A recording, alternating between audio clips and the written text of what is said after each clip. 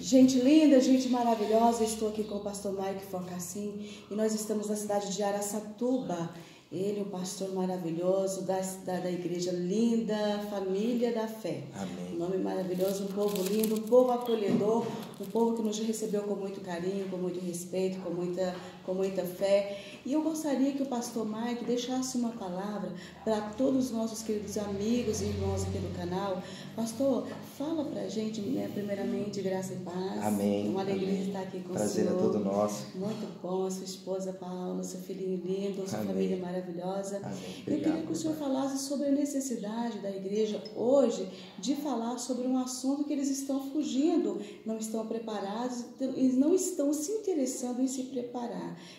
que é a ideologia de gênero.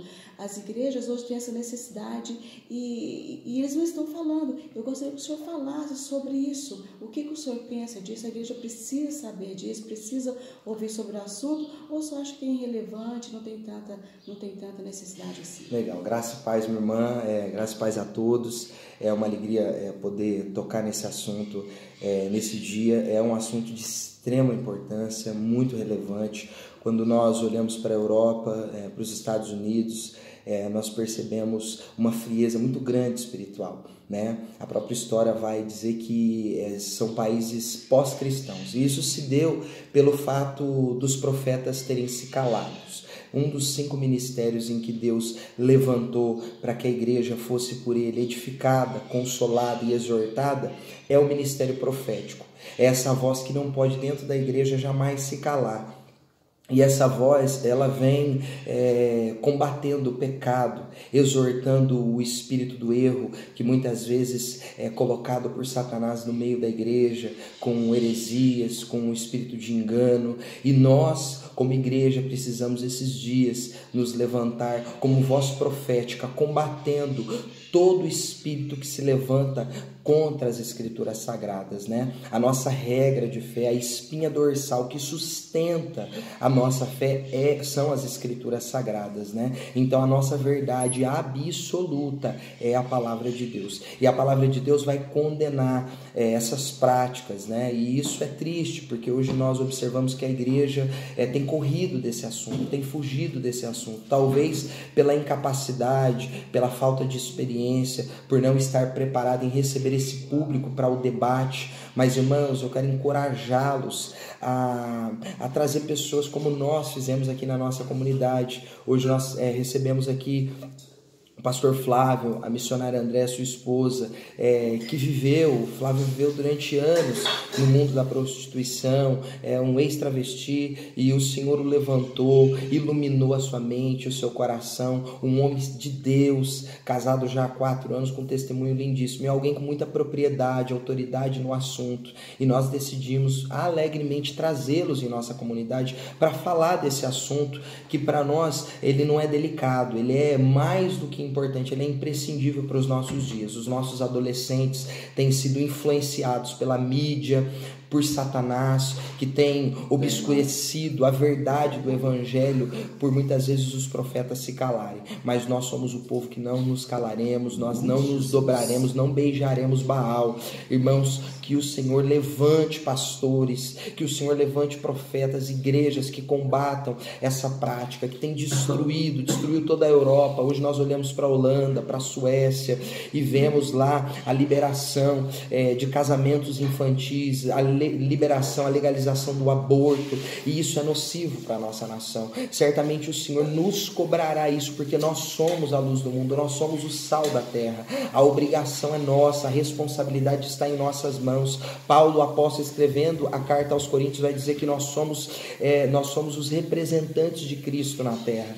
Então nós precisamos nos levantar esses dias, nós precisamos confrontar essa ideologia através da palavra, que é luz para o nosso caminho, é lâmpada para os pés, e somente ela tem poder de transformar as vidas.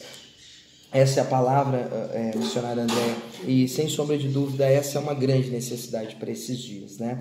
É verdade, pastor. A igreja tem se calado tanto que igrejas inclusivas têm ganhado espaço. Né? Infelizmente. Né? Tem ganhado espaço e, e, a igreja está alheia a essa realidade ou, ou, não quer enxergar que isso está acontecendo, mas por omissão, por omitir a verdade, não é? Sim. A igreja inclusiva tem se propagado, tem crescido, tem avançado. E, infelizmente, nós, nós ainda somos pouco, a minoria ainda, mas eu acredito que o Senhor Deus irá fazer com que os pastores e igrejas venham a enxergar a importância desse assunto ser falado na igreja, né? Sim, Nós verdade. sabemos que teve uma missionária aí, né, que se dizia que se dizia liberta, logo caiu, logo então é, é, na sua na sua promiscuidade. Promiscuidade, né? A gente fica tentando achar uma palavra para não ser tão, mas a é, palavra é essa Não mesmo. dá para usar de eufemismo, dá, né? O politicamente correto ele tem, ele tem nos roubado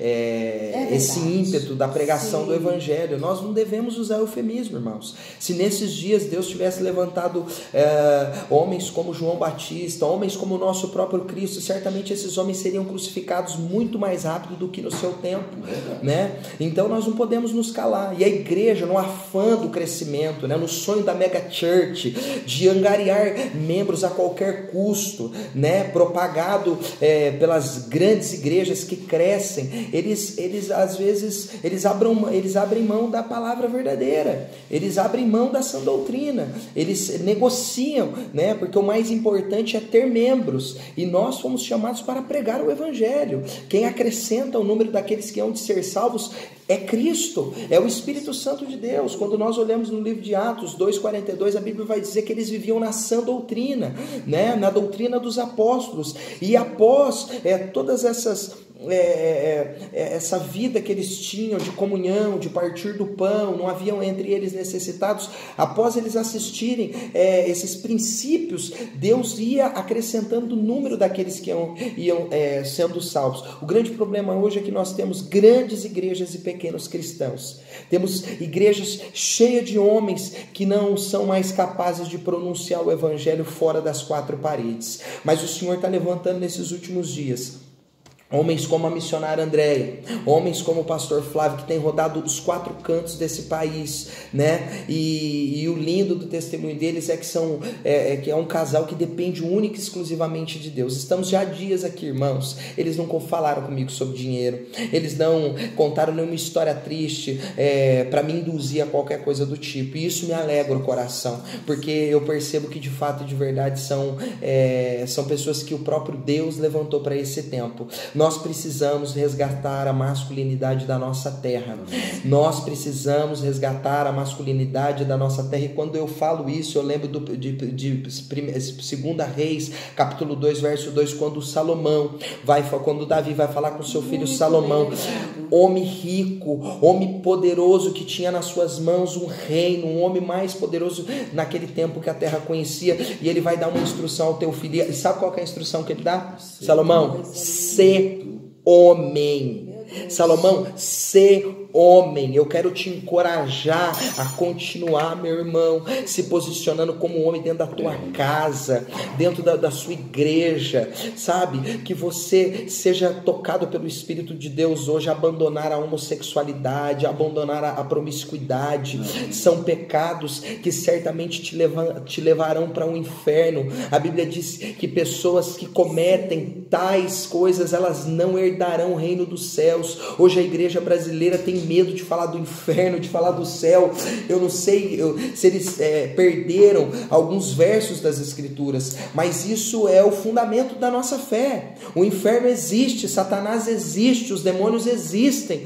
Creia nisso. É as Escrituras sagradas e nós cremos na inspiração da palavra de Deus. O negócio, pastor, é que eles estão só vendo um Deus de amor. Exato. É. Meu Deus. É, o que o senhor pensa sobre isso, sobre esse, esse amor que, que, que cobre tudo, que aceita tudo. Isso não seria até omissão? Né? Sim, e é uma ignorância, né? Na verdade, é um Deus criado é, pela cabeça desses homens inescrupulosos que não conhecem as Escrituras. E alguém já disse para mim, pastor, esse Deus é o Deus do Velho Testamento, como se Deus do Velho Testamento não fosse o mesmo Deus do Novo Testamento. É um único Deus. 1 Timóteo 7 vai dizer que há um único só Deus. Agora, queridos, entenda uma coisa.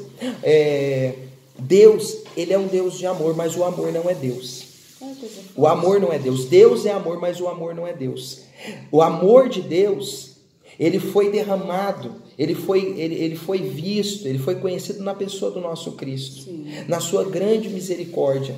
Mas esse amor se estendeu a nós para que nós nos arrependêssemos dos nossos pecados. Contudo, Deus é um Deus de ira também. Quando nós olhamos no, texto de Atos, capítulo número 5, no Novo Testamento, nós vemos lá Deus punir um casal que mentiu ao Espírito Santo, que quis enganar a igreja primitiva, introduzindo engano, e Deus, para preservar a igreja, Deus é, vem com ira sobre aquele casal, né? E aquele casal morre instantaneamente através de uma palavra do apóstolo Pedro. Então, é, missionário André, Deus é um Deus de amor, mas o amor não é Deus. Deus é Deus de amor, mas é um Deus de ira também. Ele derramou, é o zeloso, é um Deus que derramou a ira. E a Bíblia diz que assim como foi nos dias de Noé, serão nos dias da vinda de Cristo, né? Ele destruiu toda a humanidade, porque eles não ouviram a voz de Deus. Que você ouça a voz de Deus, que você se arrependa enquanto é tempo, que você volte para os caminhos do Senhor. Nosso Deus é um Deus de amor, mas ele é um Deus de ira também. Ele é um Deus que na sua vinda não vem mais como um cordeiro, ele vem como um leão. Ele vem não mais para é, chamar o pecador ao arrependimento, mas para conduzi-lo ao inferno, para a punição eterna daqueles que desobedeceram às suas ordens. É verdade. Amém. Né? Pastor, eu quero agradecer muito, Amém. Muito a sua, a, sua, a sua fala aqui, a sua participação poderosa, maravilhosa. Amém. Vem cá, pastor Flávio. Como palavra linda. Homem de Deus. Como uma palavra maravilhosa. Deixa eu ler. Olha, Sim. também da mesma forma que aconteceu, da mesma forma que aconteceu Exatamente. nos dias de Ló. Meu Comiam, bebiam, compravam, vendiam, plantavam e edificavam. Mas no dia que Ló saiu da igreja, saiu de Sodoma, choveu do céu, Meu do céu, fogo e destruiu a todos.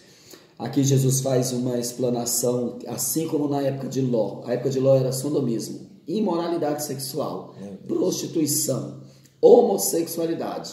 Os homens eram perversos e maus. Da mesma maneira que Deus tirou Ló de Sodoma, Deus vai tirar a igreja do mundo e da terra Glória e vai destruir quem nela ficar Aleluia, com seu Jesus. pecado, com a sua negação, com a sua infelicidade, mentindo, roubando e destruindo a si mesmo. Meu Deus.